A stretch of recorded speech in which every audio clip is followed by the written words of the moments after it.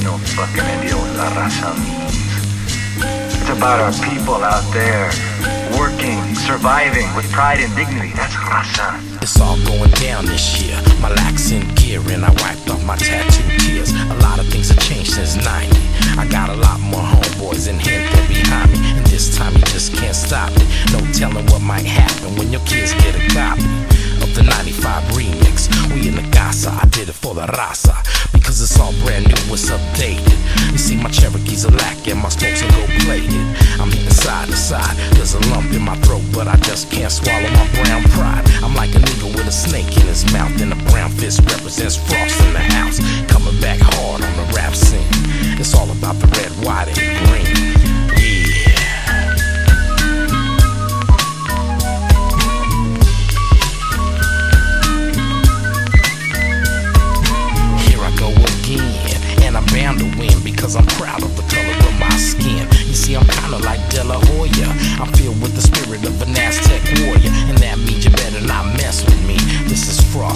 Capital ESC.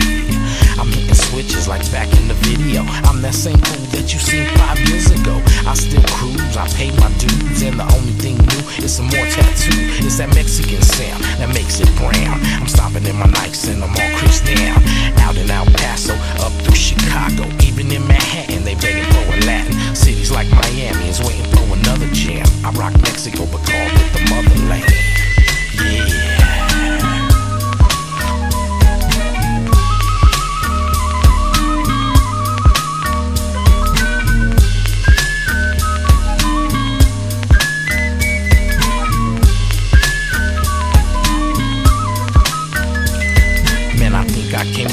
solution, and the answer is brown revolution. So pump your fist to this and wave your Mexican flag and be proud that your khaki sag. I'm here to set the record straight, to clean up the slate. All player